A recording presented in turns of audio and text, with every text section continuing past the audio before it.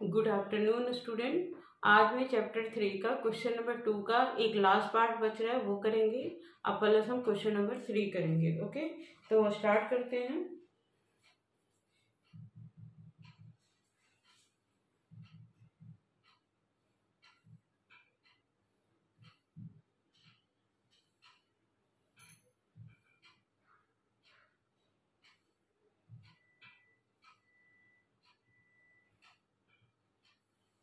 ये देखो question number two का फोर्थ पार्ट एक पार्ट और बच रहा है फिफ्थ पार्ट वो करते हैं।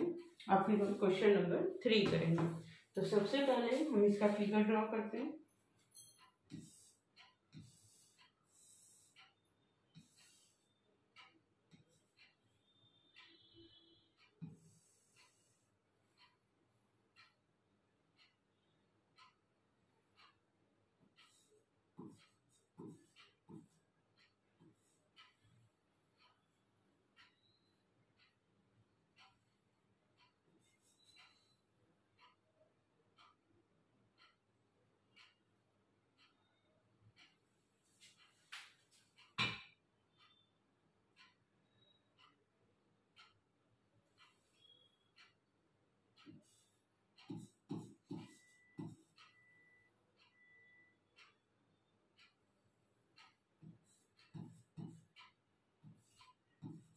अब देखो इस क्वेश्चन में हमें ऑलरेडी जो है, ये क्या है? पैरेललोग्राम गिवन है। तो ऑब्वियस है कि ये दोनों क्या है? अपोजिट एंगल है।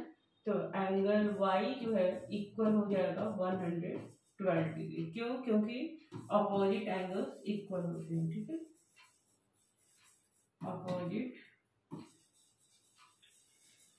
angles are equal in parallelogram देखो, मैं हमेशा आपको बताती हूँ, आज फिर से बता रही जब भी आप ज्योमेट्री के क्वेश्चंस करते हैं तो आपको सबसे पहले आपको फिगर बनाना होता है। जब आप भी आप कोई पॉइंट डालते हो तो उसके रीजन देने होते हैं कि हम क्यों डाल रहे हैं ओके तो यहाँ पर हमने लिखा है angle y equal one hundred twelve degree तो क्यों लिखा है? क्योंकि अपोजिट एंगल पैरेललोग्राम में इक्वल होते हैं ओके अब देखो, अगर हम इस ट्राइंगल को लें तो इन ट्राइंगल क्योंकि इस ट्राइंगल का कोई नाम नहीं है इसलिए जैसे ऐसे लिखते ट्राइंगल और इसमें फोर्टी डिग्री प्लस वाई और प्लस एक्स इक्वल में वन हंड्रेड एटी डिग्री ठीक है? तो फोर्टी डिग्री वाई की वैल्यू आ गई है वन हंड्रेड ट्वेल्व डिग्री तो एक्स की वैल्यू हम निकाल सकते हैं, ठीक है? और यहाँ पे हमने वन हंड्रेड एटी डिग्री क्यों लिया है? क्योंकि ये एंगल सम प्रॉपर्टी है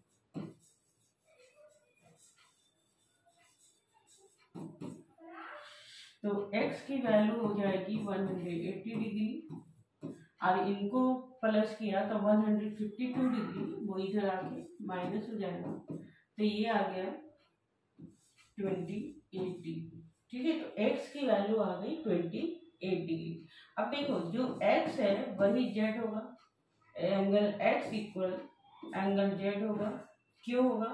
क्योंकि ये alternate interior angle alternate interior angle ठीक है?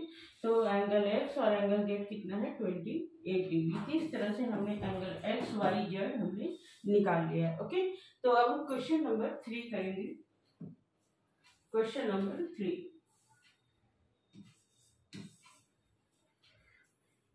question number three में हमें फिगर ड्रॉ करके नहीं दिया गया ओके हमसे सिंपली एक पूछा जा रहा है कि क्या एक क्वाड्रिलेटरल पैरेललोग्राम हो सकता है? अगर उसमें एक कंडीशन दिया है कि angle D plus angle B ये अगर इनका सम 180 डिग्री तो सबसे पहले जब भी ऐसे क्वेश्चन हो तो हमें क्वाड्रिलेटरल मतलब एक फिगर रफ फिगर ड्रॉ कर देना चाहिए कि ये ए बी सी डी है। अब देखो एंगल बी और डी इनका सम जो है वो वन हंड्रेड एटी डिग्री दिया हुआ है। अब कह रहा है कि क्या एक पैरेललोग्राम हो सकता है? तो यह हो भी सकता है और नहीं भी हो सकता है, क्योंकि मे भी और इट मे नॉट बी क्योंकि कंडीशंस क्या होती है कि angle B equal angle D होगा। तभी यह एक पैरेललोग्राम हो सकता है। If angle B equal angle D then it is a parallelogram इसके लिए ये कंडीशन नहीं है कि ये 180 डिग्री होना चाहिए ओके तो ये इसका फ़र्स्ट पार्ट है। अब इसमें सेकंड पार्ट में दिया हुआ है कि A B equal D C ये एट सेंटीमीटर है ओके अब फिर जो दूसरा है, वो है A D equal B C इन्हें ए डी फोर सेंटीमीटर है और B C four point four centimetre है। अब देखो, अगर हम इसमें फिगर ड्रॉ करते हैं तो देखो ए बी और डी सी इसकी वैल्यू एट सेंटीमीटर यानी कि ये अपोजिट साइड जो है वो इसके इक्वल है, ठीक है? लेकिन ए डी जो है वो क्या है? फोर पॉइंट फोर सेंटीमीटर नहीं सॉरी ए डी जो है वो है फोर सेंटीमीटर ए डी जो है वो है फोर सेंटीमीटर लेकिन बी सी जो है वो क्या है? फोर पॉइंट फोर सेंटीमीटर तो इसमें भी लिखेंगे इट इज़ ये क्लियरली है कि यह एक पैरेललोग्राम नहीं है। It is not a parallelogram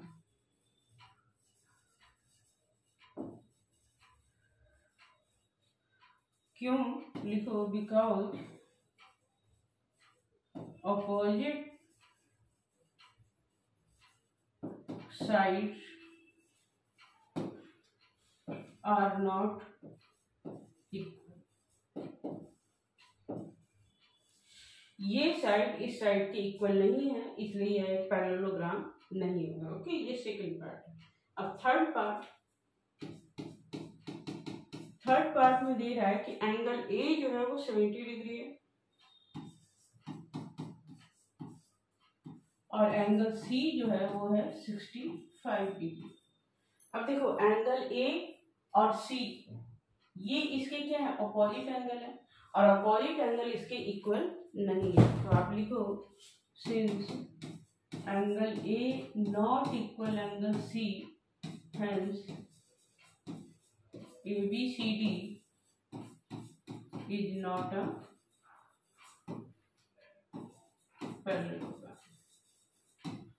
ठीक है? तो देखो, दो कंडीशन में तो क्लियर कट है कि ये पैरेललोग्राम नहीं है। फ़र्स्ट कंडीशन में है कि यह हो भी सकता है नहीं हो सकता। यानी कि ये कंडीशन हमें प्रॉपर नहीं दिया हुआ ओके तो ये क्वेश्चन नंबर थ्री हो गया ठीक है?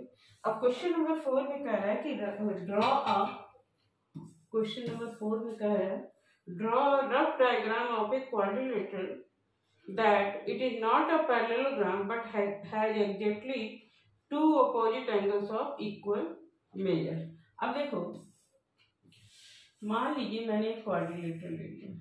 ए बी सी डी अब ये कह रहा है कि इसके अपोजिट एंगल्स तो इक्वल हैं। मान लो कि ये सेवेंटी फाइव डिग्री है और ये भी क्या है? सेवेंटी फाइव डिग्री ओके लेकिन मान लो इसका ये एंगल जो है, वो दिया हुआ है सिक्सटी फाइव और ये दिया हुआ है डेढ़ सौ साठ दो सौ दो सौ पंद्रह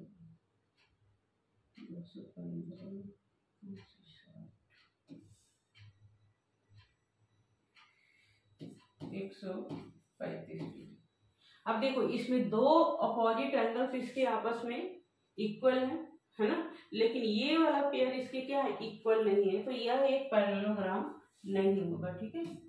It is not a parallelogram क्योंकि कंडीशंस क्या है? पहली कंडीशन ये होती है कि इसके अपोजिट एंगल दोनों इक्वल होने चाहिए।